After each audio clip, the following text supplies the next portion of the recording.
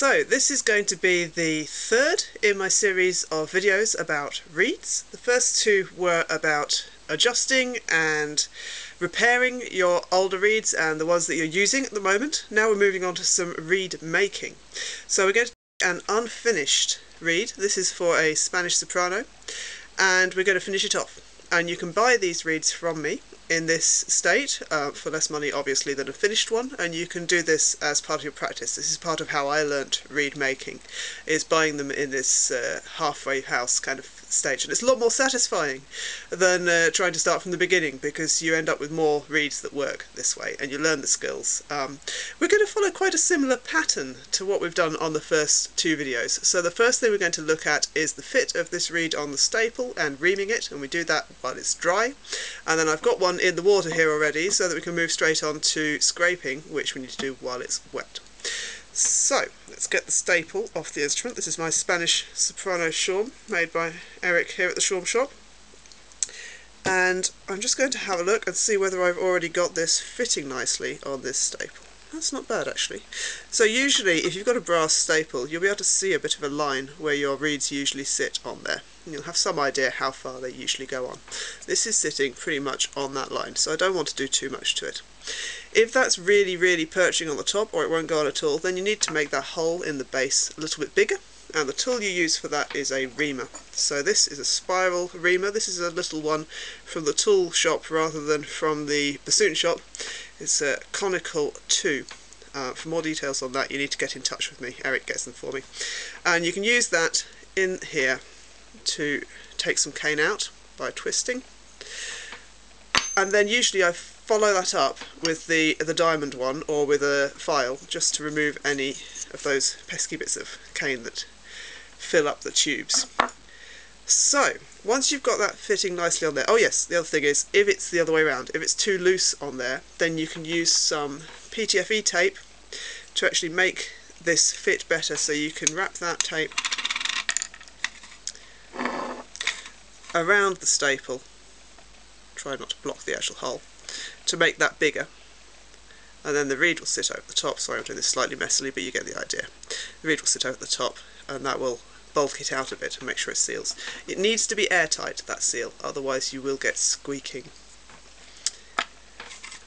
So once you've got that fitting nicely, you're going to put it in the water for at least a minute, I'd say. Like last time, I'm only soaking the blades of the reed and the tube is staying out of the water, I think that the binding lasts longer that way. But you'll know when it's ready because the bottom here will still look damp. What happens is the water goes up it like a drinking straw kind of effect and so it gets wet all over. Now you can see I've got a pencil line on the blades here. That's where I've marked how long this should be for this particular model. So there's quite a lot of spare here on the end. And the reason there's so much spare is that I'm using um, bassoon cane for these reeds, but these are much smaller obviously than bassoon reeds, so we need to take that off. Now, for years I used to do this, as I showed you before, with my trimming block and my knife, put the knife over by the pencil mark, and then push down hard. It's quite hard work, and if you're doing quite a lot of them, um, it can get quite annoying.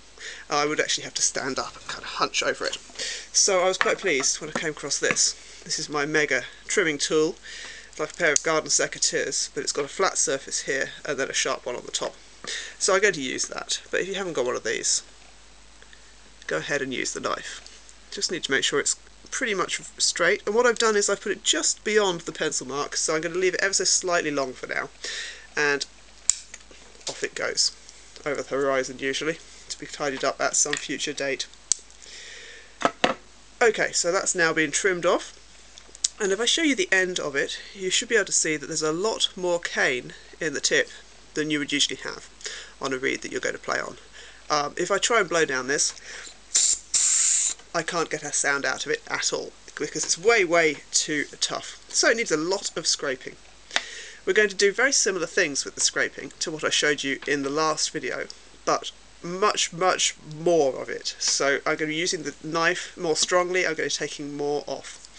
So we're going to insert our staple, uh, staple, our mandrel in the base and our plaque in between the blades and I will draw on it and show you exactly what I'm going to do. So I'm going to scrape the tip all the way across.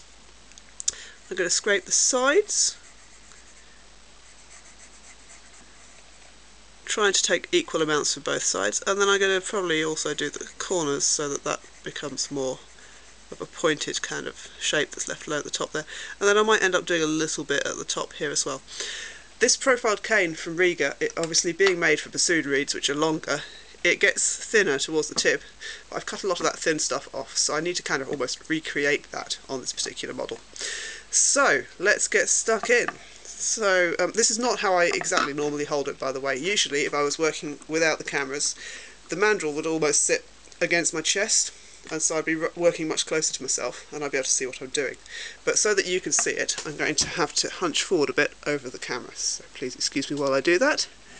But hopefully you'll get a fairly good view and you'll be able to see the lumps of cane coming off.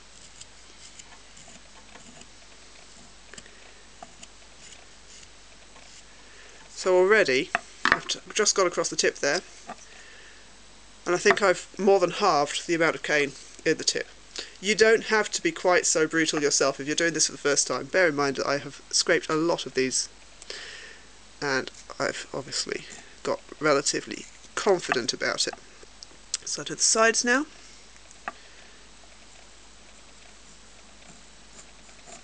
There we go. Pencil's all gone. It's looking pretty uh, perky and curvy, so like I said, just a little bit lightly near at the, uh, the top of that flame shape at the middle. Okay, hopefully I've done that fairly symmetrically. Let's have a look at it. Yeah, that's sitting quite nicely. I'm going to turn it over now and do the other blade. You might be able to see there's a lot less cane on this blade that I've scraped than there is on this one, which I haven't yet. So let's turn it over. I do the same. So I do the tip first.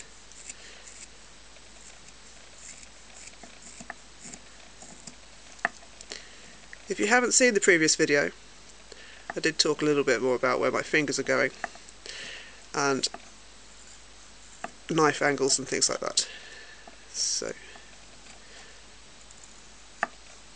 it's worth going back and seeing that. I think it's marked up as adjustments and scraping, that one. On this side I've got quite a ridge here that I'm going to get rid of, right in the middle. Don't want you. Get you to sit down a bit.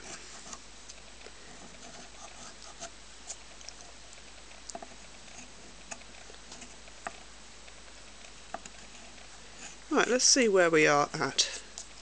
So you can see from the pile of shavings on my desk that I've done a lot more than I did on the adjustments and scraping video.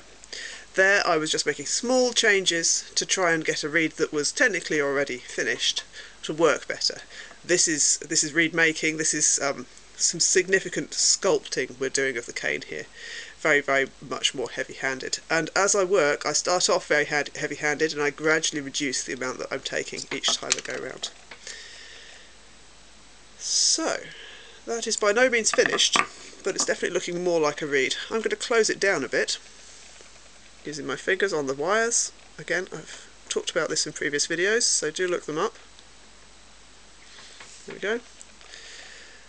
Right, this is not entirely symmetrical at the moment, so I don't know if you can see the tip opening. To my mind, it is closing on this side of the reed before it closes on this side of the reed. And it's slightly weaker, it's closing quicker on this blade than it is on this blade. So this is the weakest quarter, I would say. This needs no scraping at all. This maybe needs a little bit, and then either side of this, maybe a bit more. So I'll start with what I consider to be the strongest bits. So if it's sticking up, remember, that means it's stronger and it needs a bit of a scrape. I'm just going to give it some more water. So this was the strong side here. Let's take some off there.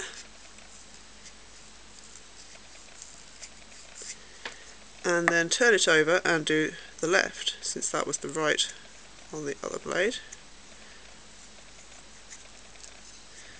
and then a bit more So what I'm doing there, I'm just putting my finger and thumb on the blade, and as I close it, it kind of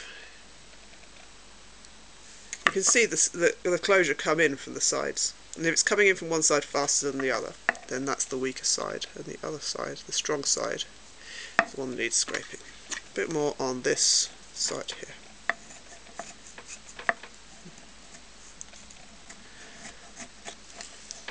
So I'm taking a lot less off now than I was to begin with already.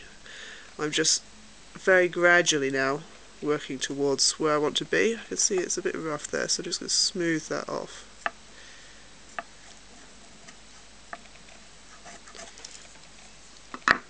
Try not to get any lumps and bumps. Okay, that's behaving itself now. Let's have a, a bit of a blow down it, see if it now makes a noise. Aha, it's alive.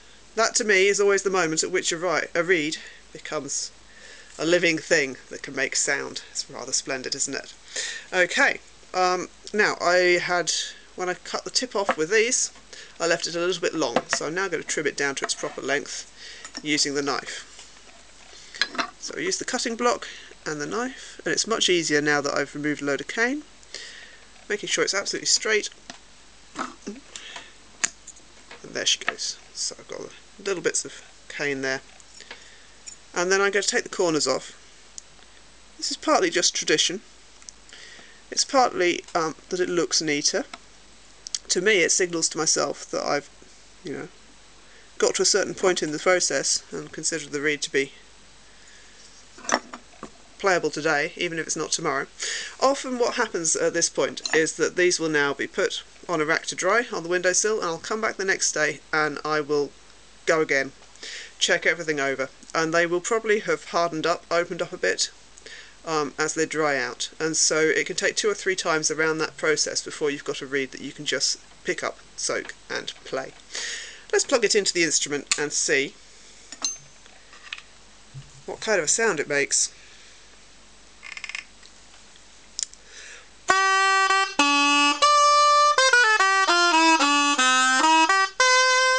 It's quite an easy blow actually.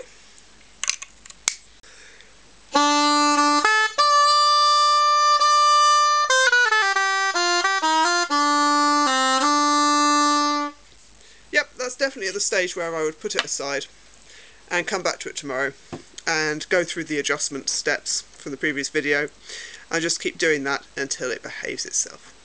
So that has gone from being an unfinished reed to a very nearly finished reed and like I say the steps that uh, you need to take to get that then to work for you are covered previously. Next time round what I'm going to show is how to do the binding, so forming the reed, putting the wires on and doing the, the thread binding on it. And then after that we'll look at shaping the cane and getting it ready. So by then, after two more videos, you will be able to make a reed from scratch. See you then, thanks for watching.